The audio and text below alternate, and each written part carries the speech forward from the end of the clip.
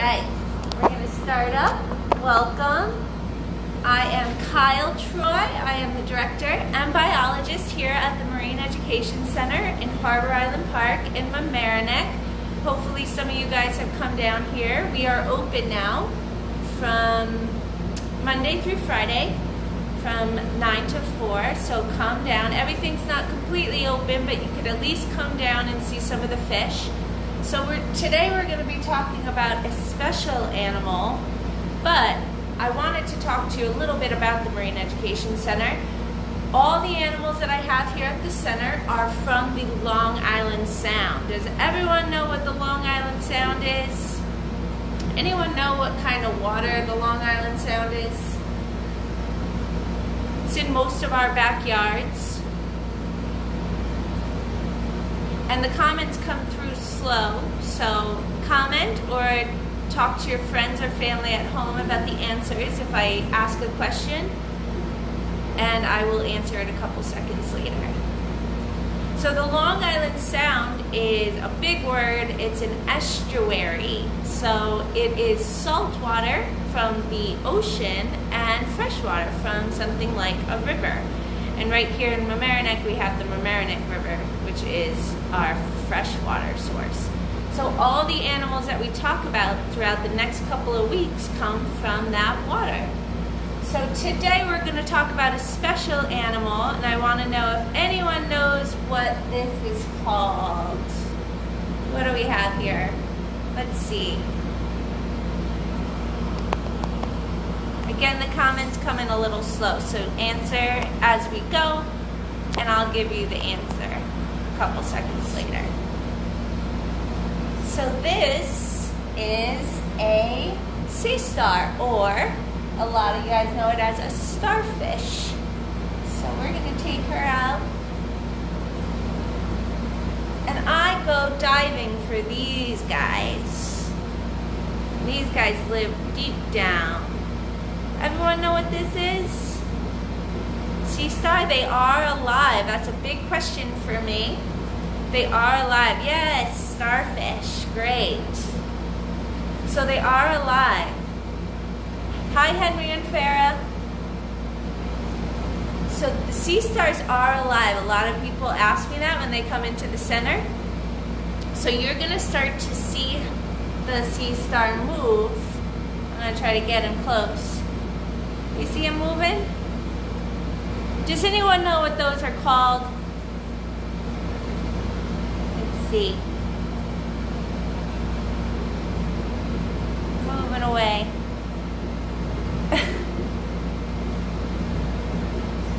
So he's going to start to curl around me because they like to hold on with those. So those are called tube feet. Like we have feet, they have tube feet. They have lots and lots and lots of tube feet. So what those tube feet do is help them hold on like he's about to do to my, my hand. They also help him eat. And my next question is, does anyone know what a sea star likes to eat? Let's see if anyone knows what a sea star likes to eat. And I'm going to take it out. You're going to answer at home with your friends or family. And then I will tell you. So they like to eat a lot of things, but their favorite thing is this. Hi, Gabriel. So this is their favorite food. Does anyone know what this is?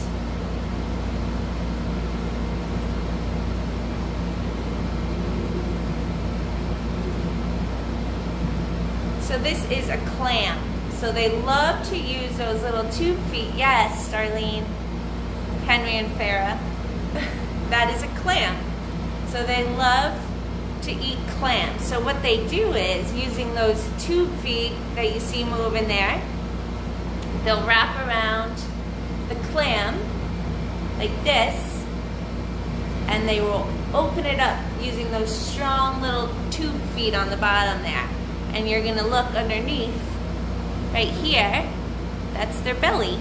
So that's, yes, that's their belly. So their belly actually will come out of their body to eat the clams. So, sea stars are very special. So why I call them sea stars and not starfish is because they're not fish. What's one big thing here that you see that a fish has that a sea star doesn't have? Let's see if we could look and see. What does a fish have? Maybe you can see in the touch tank here some of the fish swimming around. What does this uh, fish have that a sea star doesn't? Let's see, Darlene. Is the orange on? Yes, and we're going to get into that. Good. So let's see, what does one of these little fish here, the killie or mummichog, have that a sea star doesn't? This is why we don't call them fish. So Darlene hit it right on the head there. So this orange dot, a fish has fins, yes. A fish has fins. It's a big thing that a sea star does not have. And a fish has gills. Does everyone know what gills are? So gills help a fish breathe. Sea stars do not. And like Darlene just said, they have this orange dot here. A lot of people think it's their eye, and we'll get into their eyes in a second. So this orange dot actually is kind of like a door. It lets water in and out. So when you guys come down to the center and feel him or hold him when the touch tank's open again, you're going to feel that he's very hard. He's very hard because he's filled with water. And that orange dot lets water in and out. So that's how they breathe. They don't have gills like a fish would have. They also don't have this slime. If you've ever talk, uh, touched a fish, fish have slime on them. So that's one quality all fish have all fish have this slime on them. Sea stars do not. They have very rough, rough skin, type of skin. So when you feel him, you're going to feel that he's hard, but he's also a little rough. Why do you think he's a little rough? What do you think that helps them? Helps them with? You feel that he's rough like that. So that helps protect him, right? So that gets me to, I want to bring out one more sea star for you. Let's see where he is.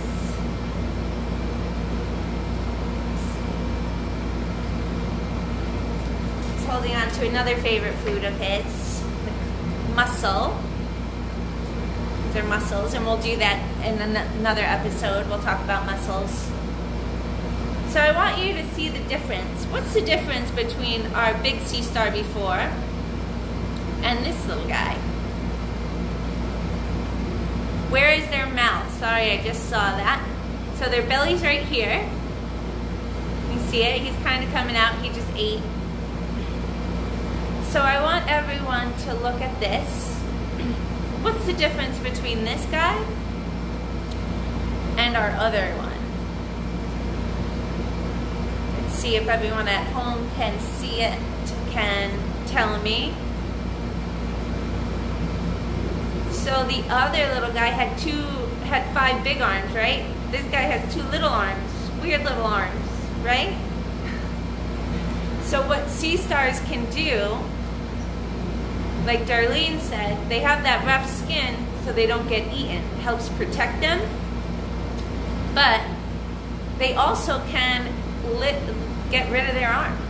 If something's coming after them, they'll just release their arm. We can't do that. Yes, it has shorter arms. So what they do is they'll just get rid of an arm and try to get away as quickly as possible if something's coming to eat them. So this guy got rid of two of his arms. He just released them and he got away. That's cool though, right? We can't do that, but they can and they regrow them. So he'll get his arms back in a year or so. A little bit, takes a little while. I'm gonna take out our other one really quick again. Because my last fun fact about sea stars, I want everyone to tell me, if they can, how many eyes do you think a sea star has? Let's see. How many eyes do you think a sea star has? Sea stars look pretty boring, right? But they actually have a lot going on. So I want everyone to look. I'm going to show you moving. You see his tube feet moving again. So while we're looking at his tube feet, can everyone tell me how many eyes do they think they have? See him moving around.